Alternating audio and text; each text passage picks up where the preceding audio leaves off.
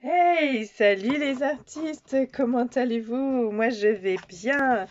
Alors aujourd'hui on se retrouve à nouveau pour une page d'art journal. Il n'y a aucune surprise, hein, vous voyez mon carnet d'art journal du moment. Euh, eh bien on va tout simplement euh, poursuivre un travail. La dernière vidéo elle était restée sur celle-ci. Donc euh, aujourd'hui on fait une page couleur craft.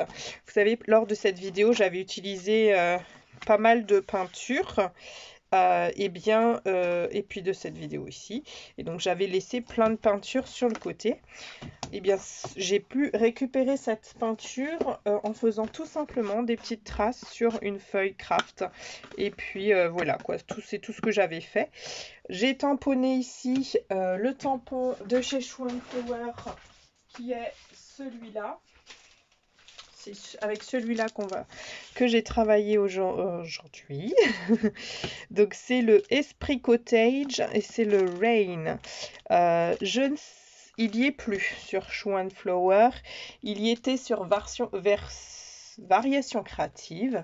Donc euh, voilà, je, si vraiment vous le voulez, c'est vraiment une ancienne collection et qui est un petit peu en rupture partout. Donc regardez sur variation créative, il coûte une vingtaine d'euros certes, mais voilà, si vous voulez vraiment l'avoir, euh, du coup, euh, bah, faites vite, quoi.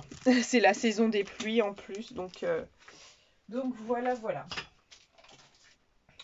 J'ai donc tamponné à la Versafine noire ce ciel de parapluie que vous avez vu. J'ai tamponné aussi en série. Alors, je vais le découper comme ça. Euh, la petite oursonne de la collection euh, Forêt Enchantée. La petite oursonne de la collection Forêt Enchantée.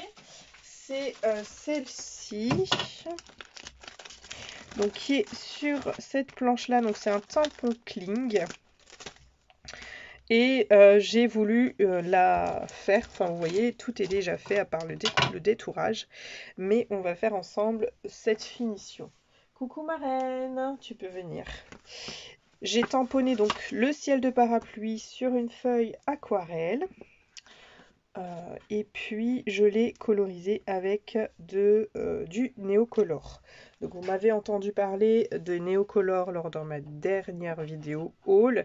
Euh, et eh bien voilà, vous voyez, j'ai travaillé avec le Néocolor sur ce ciel de parapluie.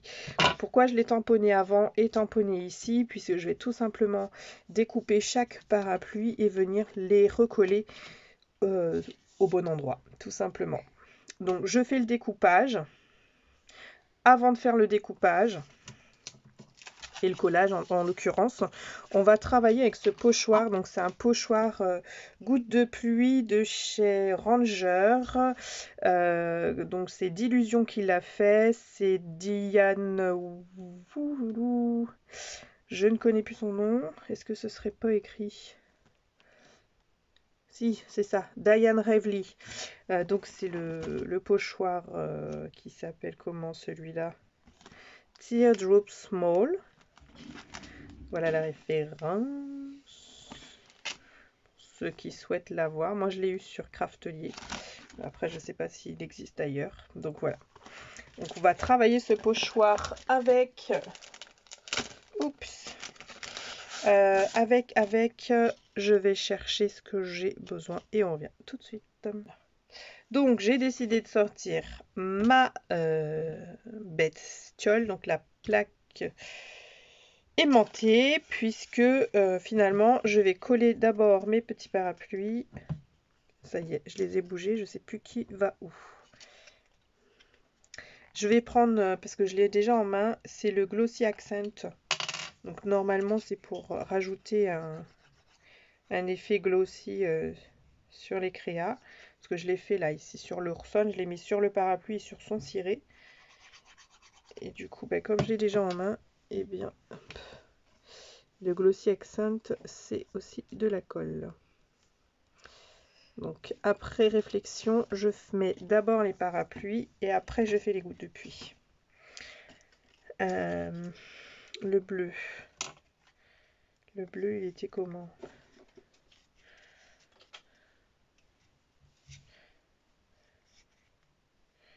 Plus petit côté, il est là.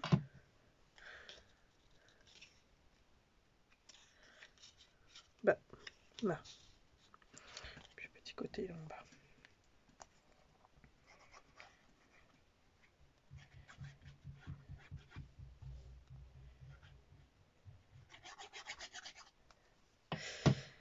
Hop.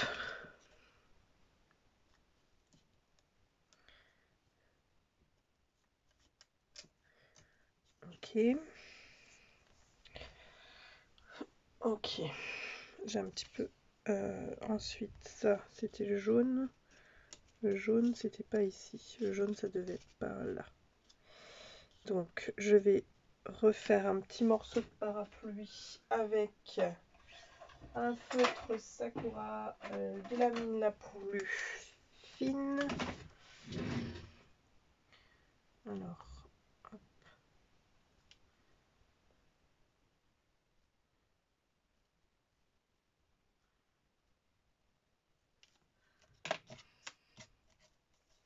Je vais redécouper. Et je redessinerai bien mieux plus tard.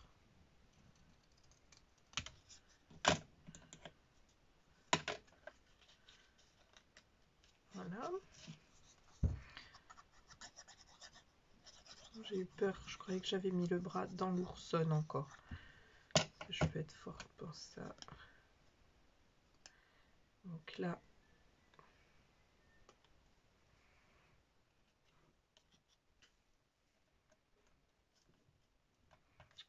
ah. le glossy accent, quand il est collé, il est collé. Hein. Il fait pas semblant.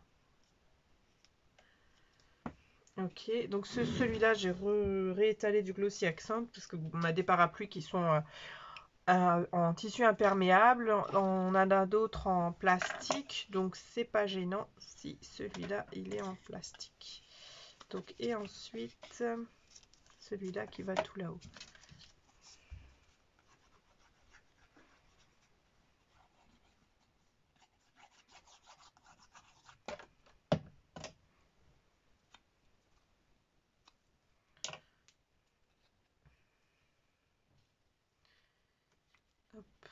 et j'ai des doigts dans le glossy accent.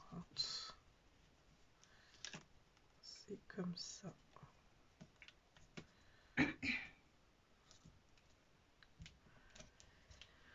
Voilà, le bleu et le violet. Et puis, on a fini pour les collages. De toute façon, c'est une mini vidéo, donc euh, je peux me permettre là de coller avec vous. c'est pas de ce côté donc c'est ce côté là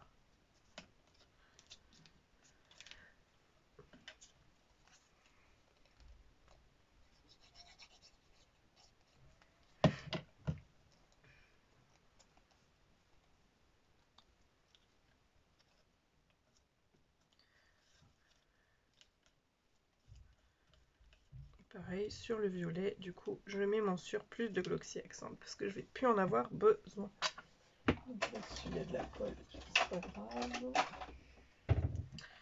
Ça va sécher, on enlèvera après. Ici aussi, ça va sécher, on enlèvera après.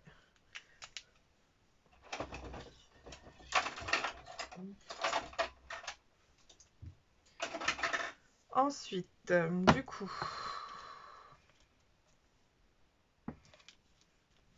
comme il y a du glossy accent dessus, je vais passer un petit coup parce que sinon ça va coller mon pochoir évidemment, sinon c'est pas drôle.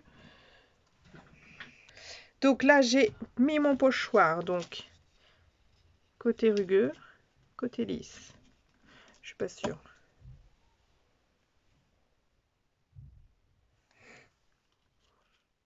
Et je vais en mettre partout des gouttes de pluie.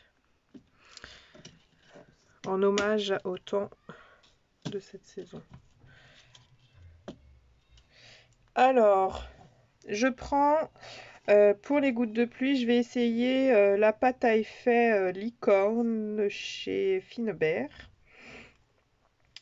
chez Prima. Est-ce que c'est Prima qui fait ça aussi? Je crois que oui. Oui, Prima. Donc euh. Donc celle-ci c'est la licorne. Parce que je crois pas avoir utilisé la licorne encore en vidéo. À part juste pour un test, mais c'est tout. On va voir ce que ça donne. Alors, la spatule souple. Pas sûre que ce soit sa copine. Et puis...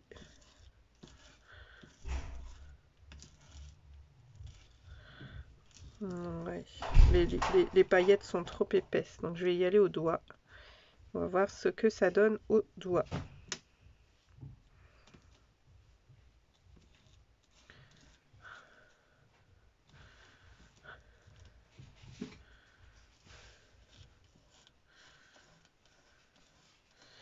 Ça n'a pas l'air d'être euh, topissime, topissime. En tout cas au pochoir. Je pense que pour définition, ça doit être sympa. Mais pour euh, pocher, c'est pas le, plus... Tu devrais utiliser les stylos, la spatule à peinture.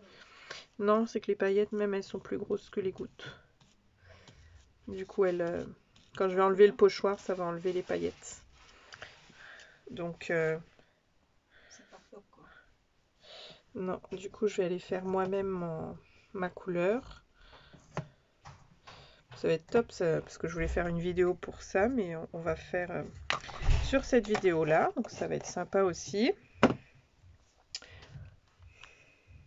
Du coup, bah, comme vous voyez, ça va pas marcher le, la pâte à effet Finabert parce que les paillettes sont trop épaisses.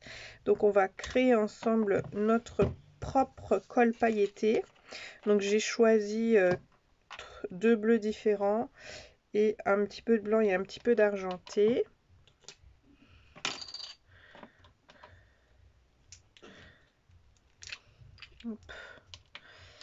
Et hop. Il faut que j'en crée suffisamment. J'ai mis dans un petit pot euh, qui devait partir à la déchetterie la poubelle.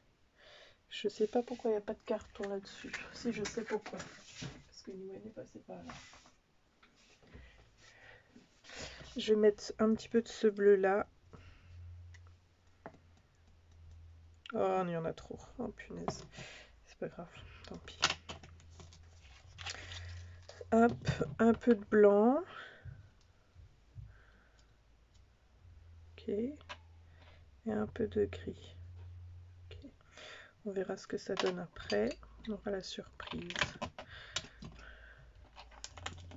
Donc, et pour ce faire, on met du coup, toujours chez Finabert, c'est le 3D Gloss Gel.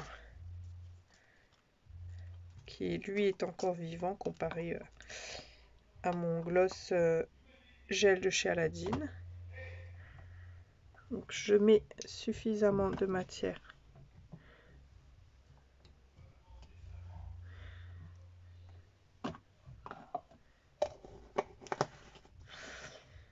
Hop, je remets dans le bac. Et je vais créer du coup ma pâte à structure. Et là, je mélange bien.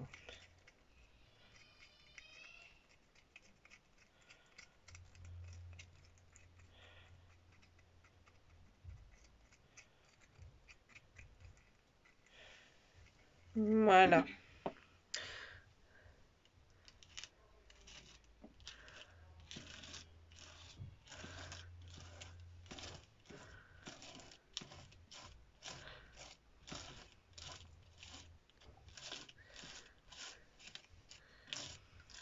Je sais pas si ça va venir recouvrir le, la pâte licorne qui s'est incrustée ou pas.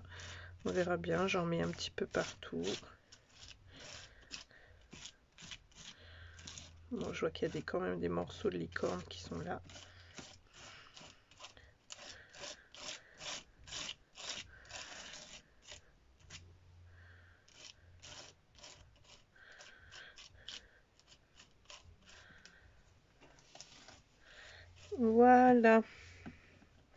Et puis bah, du coup, je vais pouvoir euh, garder. Et voilà, j'ai fait bouger tout le truc. J'ai enlevé un aimant et catastrophe.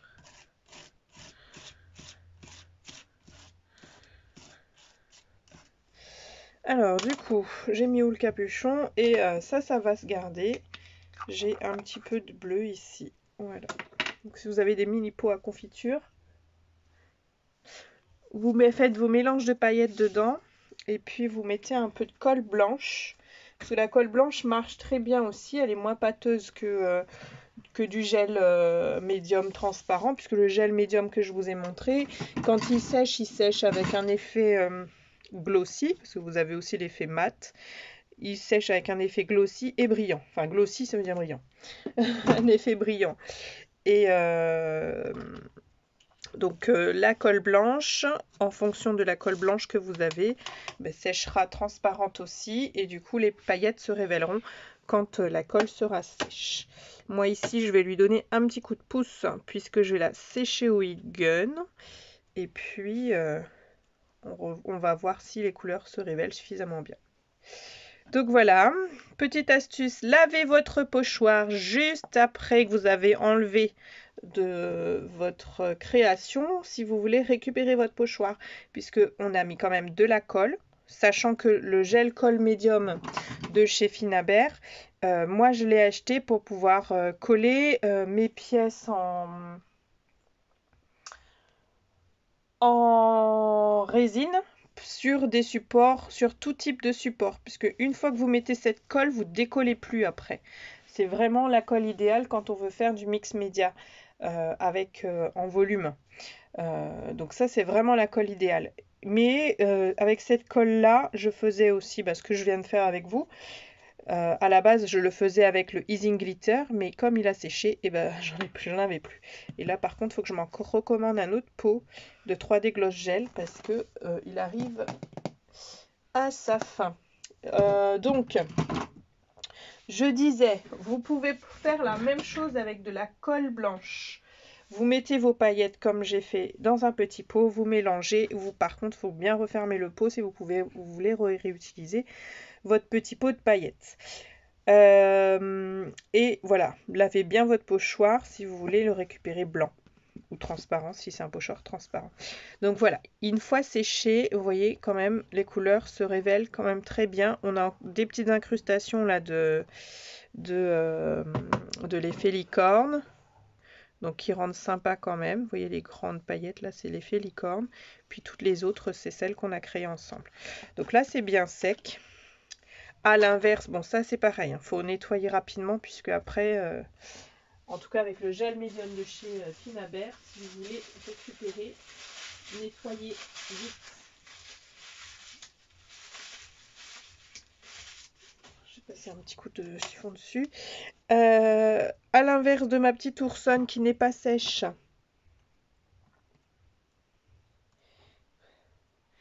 je vais la mettre par ici sur de la mousse 3D. Euh, la mousse 3D, c'est pareil. Ça, c'est pas de la mousse 3D, ça, c'est du scotch double face. La mousse 3D, il faut que j'en rachète aussi, quoique j'ai du foam. J'ai du foam là. Je vais mettre ça. Ça va être... Euh, beaucoup plus mieux. Beaucoup plus pratique vu que mon oursonne, elle est pas sèche.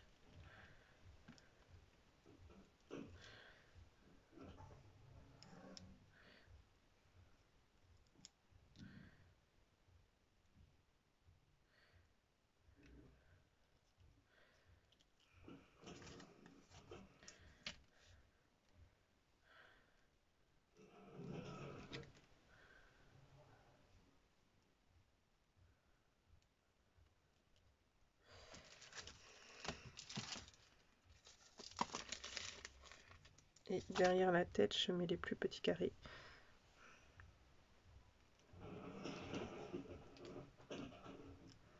Là où ça déménage, je sais pas ce qui se déménage. Hop. Et puis sous les petits pieds aussi. Donc ma petite oursonne euh, a été colorisée euh, aux Albrecht Dürer. Donc c'est euh, des crayons de couleur aquarellables. Alors que mes parapluies ont été colorisés au Néocolor. Donc voilà, j'enlèverai la petite capsule, la petite pellicule par la suite. Je vois que j'ai tellement bougé que ça fait des petites bulles. Donc les Albrecht Dürer ce sont les crayons de couleur aquarellables de chez Faber-Castell. Voilà. Et puis, euh, bah, les néocolores, ce sont les petites euh, cires aquarellables de chez Carandache. Donc, je vais m'en occuper euh, de suite après cette vidéo. En tout cas, de l'étui en tout cas. Je voulais rajouter une petite intention à cette page d'art journal et après euh, elle sera terminée. Donc voilà, désolé de la coupure. Alors, j'ai des petits éléments qui sont en train d'être collés. Et quand je mets les doigts, ben, l'encre en fait, même si j'ai passé au Heat Gun, j'ai mis de la Versafine bleue foncée. Je sais pas comment elle s'appelle, elle est rangée. Et puis voilà quoi. L'effet brillant, l'effet glossy. Le glossy n'est pas encore sec, donc on ne voit pas véritablement la transparence euh, et la couleur du gilet, euh, du ciré dessous, parce que le glossy est encore en, train de sécher. Donc quand il n'est pas sec, il est un peu blanc, un peu, euh, vous voyez, passer. Et puis quand il va sécher, il va être un peu comme le col au-dessus là. Donc voilà ma petite page. je pense pas que je vais faire un pourtour ou peut-être un pourtour en noir quand, mon élément, ma petite oursonne sera séché. Je ferai un petit pourtour en noir, mais en l'occurrence, voilà. Elle est terminée. Je suis contente de ma petite réalisation. C'était plutôt des choses très simples à faire. Donc euh, à reproduire chez vous, euh, ça peut être sympa. Voilà, je fais plein de bisous les artistes et on se retrouve bientôt. Bye bye